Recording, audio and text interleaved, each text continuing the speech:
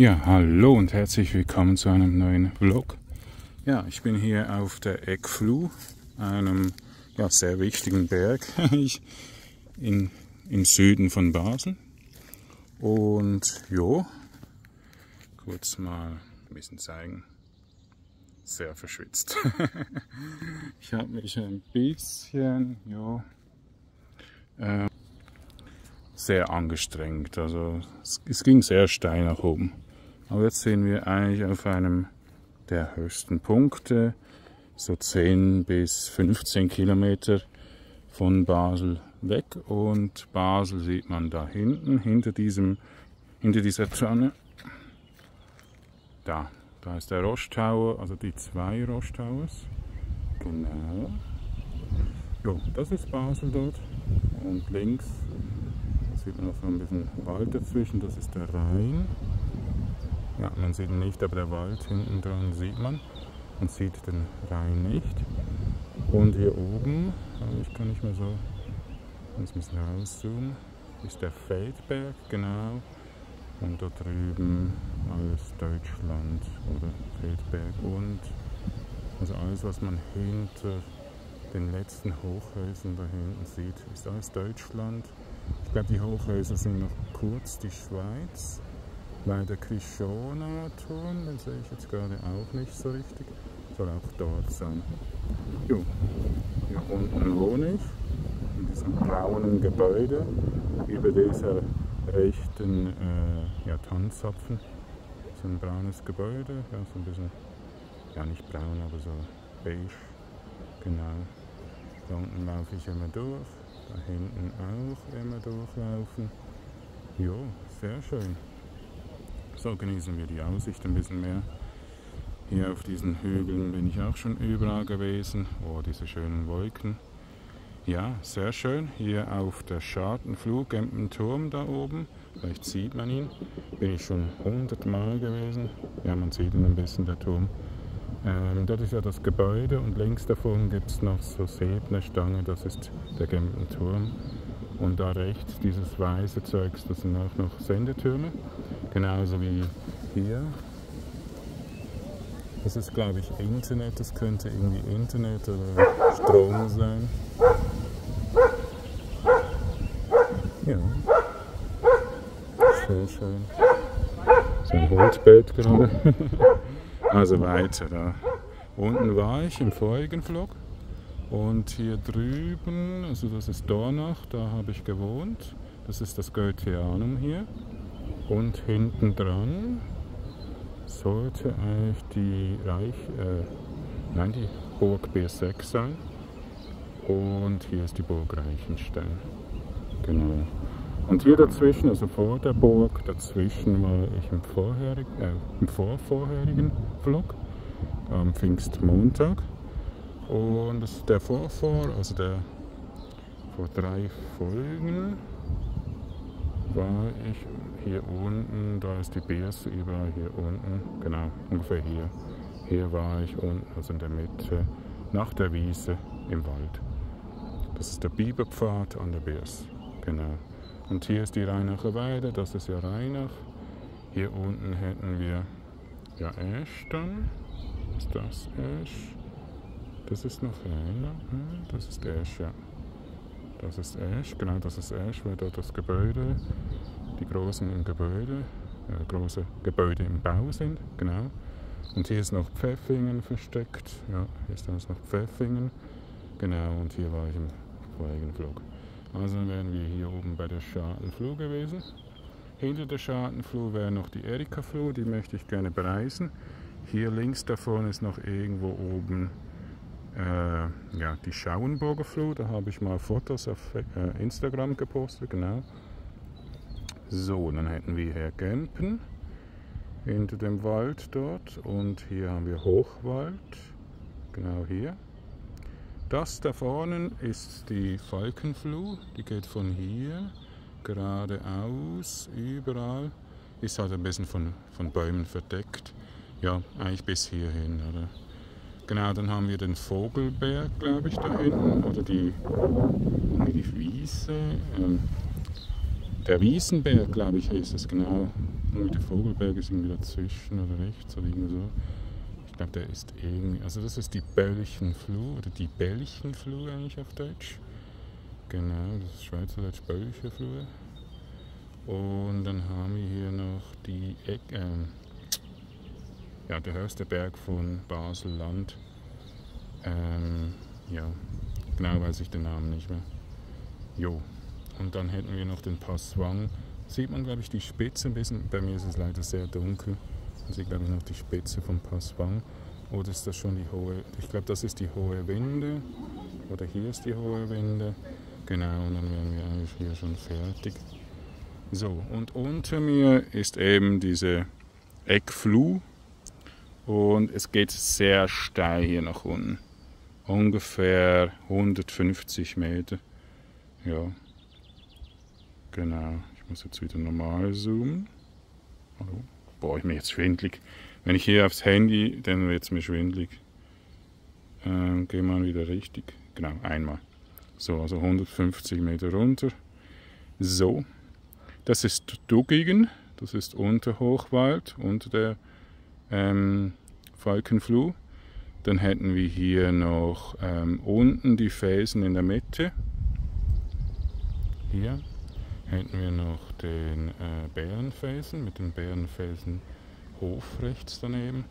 Hier hätten wir noch einen Felsen und wenn ihr den Vlog vor ungefähr 10 oder 20 Tagen gesehen habt, ich war ungefähr ja, an diesem Felsen hinten dran, hinter dem Bärenfelsen.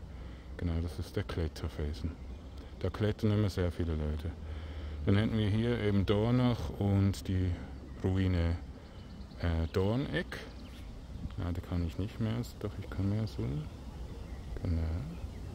Da gehen wir auch mal hoch und eben auch auf die Schartenfluh mit dem Gempenturm. Das ist nämlich der Hausberg sozusagen von Basel, weil er natürlich schon recht nah an Basel ist und der höchste Punkt. Übrigens ist der Punkt und mein Punkt, wo ich drauf bin, die Eckfluh, genau gleich groß. Also man sieht es eigentlich, es ist genau gleich groß. Also man könnte eigentlich eine Hängebrücke spannen. Die würde wahrscheinlich sehr unsicher sein, da macht es niemand. Aber ja, man könnte sie spannen, wäre eigentlich ziemlich cool. So, jetzt laufen wir noch ein bisschen nach vorne. Ich will noch bisschen Video machen und einfach ein bisschen Sachen zu zeigen. Einfach nach ja, vorne, da ist nämlich noch der blauen. Und ja, ja, ich bin eben sehr müde vom Aufstieg. Ich habe zu viel gejoggt, davon sehr viel gejoggt und ja, fühle mich leider nicht so tolle jetzt, eben ein bisschen schwindlig mir auch den Kopf ein bisschen weh vom Höhenunterschied. Ähm, jo, auch sehr viel geredet, mit meinem Vater telefoniert zum Beispiel und so mit den zwei Leuten, die ihr gehört habt, mit dem Hund geredet. Die sind von Hofstetten, das ist eigentlich, wenn wir jetzt gerade auslaufen zum Blauen, ähm, ja, das ist ungefähr der höchste Punkt vom, von der Region, außer natürlich die Eckfluh und der Passwang und die hohen Winde die sind übrigens auch Passwang und Hohe Winde sind genau 1204 Meter hoch. Und diese Eckfluh, die ist glaube ich 778 oder so, oder knapp, oder 63. Und der Passwang ist 638, äh, nein 836, genau, so herum. ja, ist noch etwas geschützt mit diesem roten Netz. Ja, ein kleines Büschchen. Was könnte das sein? Sieht das wie ein Fahren oder so etwas? Ja. Genau, überall so diese Eichen. Und wo sind die Fichten? Da, also sind Tannen. Die Fichten sind vorne, ja genau. Die, also ich finde, Fichten riechen so wunderbar nach, nach Medizin eigentlich, also nach, ja, also wirklich mega wunderbar. Aber auch die Tannen hier, diese Weißtannen, glaube ich, sind es oder so. Ja. Und hier ist, glaube ich, das ist, glaube ich, eine Buche.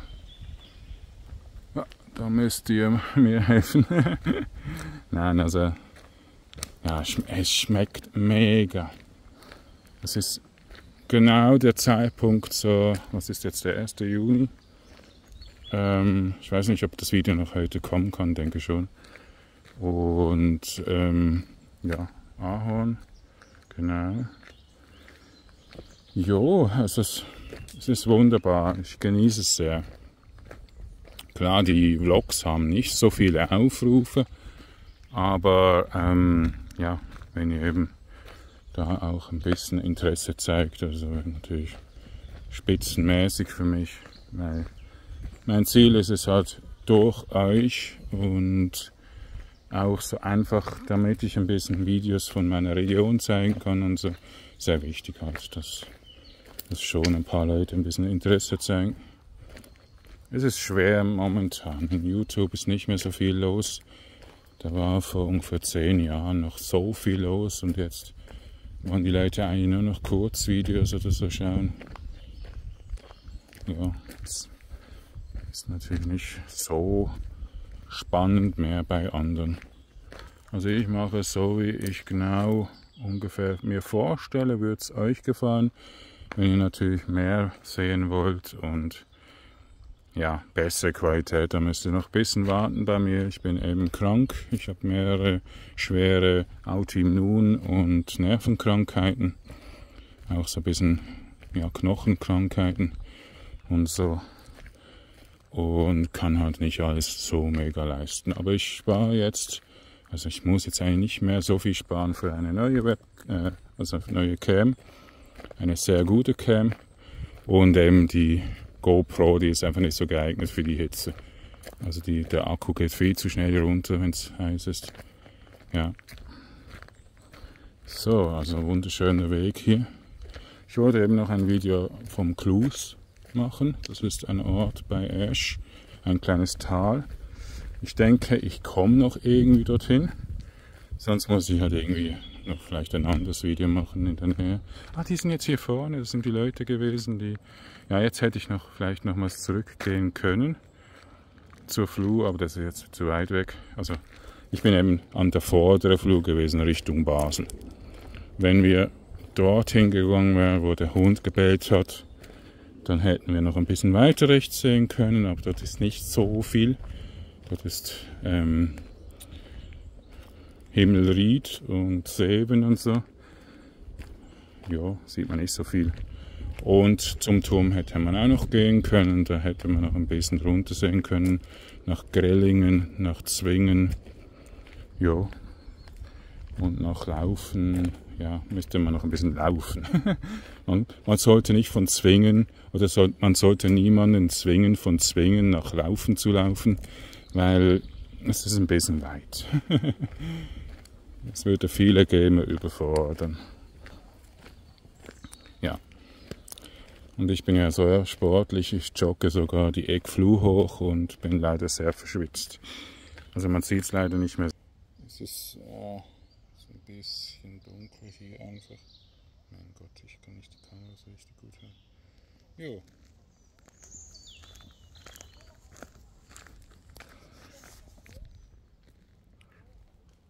Jo, und ähm, ich genieße es einfach richtig. Es ist, es ist so etwas Schönes, man denkt immer so am PC, ist es wunderschön.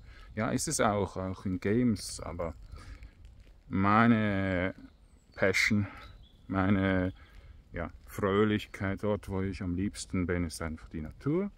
Und natürlich auf dem Fußballplatz, egal wo, auch auf Kunstrasen, wo ich leider hier in der Region im in der Kreisliga sozusagen, sagt man in Deutschland, in der Schweiz eher so Regionalliga. Gibt es halt überall Kunstrasen und das macht mir nicht so gut. Dann muss ich immer noch ein bisschen weit irgendwie wandern, damit meine Beine nicht irgendwie einschlafen oder sehr verletzlich werden. Kunstrasen tut eben nicht gut den Bein. Der muss noch verbessert werden in den Jahren, noch viel verbessert werden. Vielleicht ist er dann irgendwann mal nützlich, aber er ist irgendwie gar nicht so nützlich, weil Naturrasen einfach auch sehr viel angenehmer ist ja, zum Fußballspielen. Genau. So, also, dann zeigen wir noch was. Ja, ich mache immer so ungefähr 20 oder 15 Minuten Vlogs. Jetzt gerade so 20 Minuten Vlogs. Auch wegen Handy-Akku, der ist viel, viel größer als der von der GoPro. Ich weiß nicht, ob er kaputt ist schon, aber ich habe den besten Akku gekauft für die GoPro und es dauert nicht mal 40 Minuten, dann ist der Akku schon wieder leer. Weil halt 5,3K Auflösung runtergepegelt auf 4K für YouTube. Und ja, ist natürlich ja, einfach zu schnell weg, auch wegen der Hitze. Und dann ist entweder die SD voll oder ähm, überheizt und ja, kann man leider nicht so viel machen. Soweit die Leute ein bisschen langsamer laufen und sie halt auch ein bisschen mithören können, verabschiede ich mich jetzt. Ja, ich werde nochmals einen Vlog machen. Dankeschön und ja, dann tschüss.